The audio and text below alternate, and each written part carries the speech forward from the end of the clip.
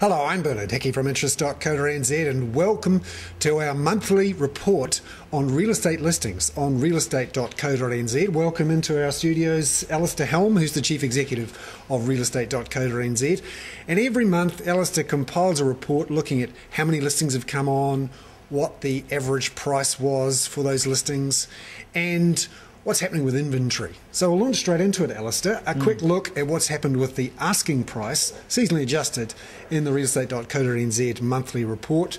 On an upward trend in the last year and a half or so, and a bit of a jump in February. Significant when you, you as you note, it's seasonally adjusted.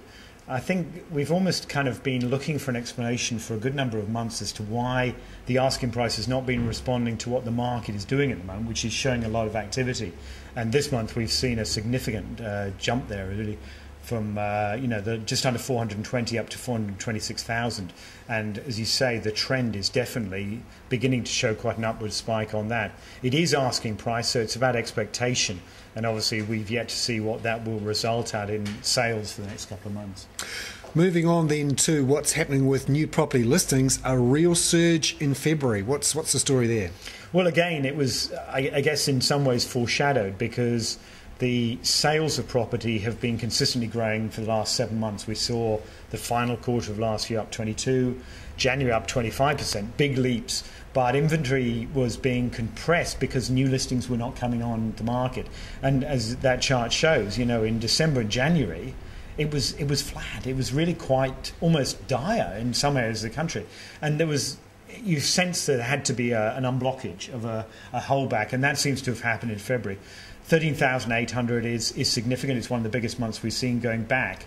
But actually, you know, it's got to be seen in perspective. Go back as I look today, February 2008, four years ago, 18,500 listings. So 13,800 seems massive in relative terms, but you know when the market was in its booming times, we could have 18, 20,000 listings in a month. So it is getting better. We're seeing a better uh, flow of property on the market, no doubt about it. So what's that done then to uh, inventory? This is the number of listings versus the uh, the average week uh, monthly sales. Yeah, and and interesting because having talked about how we've seen this uh, almost a surge of new listings, it's not resulted in inventory going up. Inventory has barely moved. It's gone from 36.4 to 36 weeks equivalent rate of sale. Now, what that is saying is all of that new listings come on the market, but there's good demand that's taking property off the market. So it, it effectively means inventory hasn't changed, which means that there's still pressure. And it is the pressure that exists in the Auckland market, the Wellington market, the Christchurch market, where uh, generally in those markets, you've got a seller's market. You have not got sufficient new listings to meet the demand. So, obviously, looking at the history here, through mm. 2010, the inventory went above the long term average, which yep. means that it's more of a buyer's market. Exactly underneath that average, you'd argue it's more of a seller's market. Very much so. And it's interesting because if you go back to midway through 2011, there was almost a sense we were beginning to, we'd seen the bottom and we were picking up an inventory. And then when the sales really picked up, that last seven months has seen a slipping of inventory. And this is what's driving it is demand. We're seeing a situation where there is consistent, steady demand. Now, again, it's not right across the country, but in aggregate terms, that demand is strong and that's what's driving this 20% month year on year monthly sales through the Real Estate Institute. Just looking now at the various different parts of the country, firstly, uh, asking prices, um, some strength in certain areas, obviously Auckland, mm-hmm. uh, Bay of Plenty, Manawatu, Wanganui. Can you give us some sense of the themes here in terms of asking prices? Well, the, the point I didn't make earlier, the, the asking price nationally is a new peak. Uh, it is up on the October peak of last year. So it's, it's kind of holding at that high level. Auckland is as close as you can get to another peak. Uh, the last peak was actually of 556,000. So asking price is strong. They're up 3% or 2.6% against this time last year. Um, Wellington is strong. Those kind of markets are pointed out again.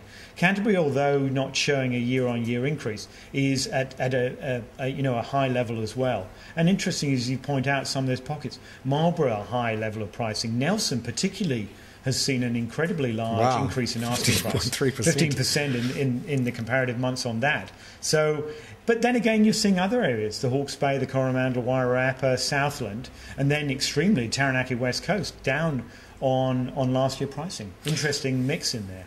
Uh, that was clear in the National Bank's survey of economic activity that the West Coast was underperforming relative to the rest of the country right. okay. in, ter- in, economic terms, and yeah. relative strength in the South Island and in Auckland, which yeah. is reflected through in those asking prices. Mm. Then looking at the number of listings uh, to show how much is coming onto the market, and some again big improvements. This is from yeah. from uh, a year ago, February right. 2012 versus February well, this is a classic situation where you know the colour determines whether it's a, an increasing level of new listings or a decreasing, and we've only got one region in the country in the Coromandel, which year on year is actually lower.